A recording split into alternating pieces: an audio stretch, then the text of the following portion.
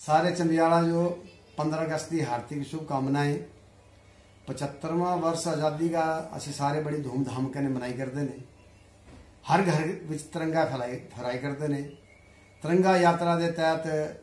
लोग जड़े ने अपने घर तिरंगा लहराते हैं मैं सारे जो ही चंबा वासियों जो तो प्रदेश वासियों जो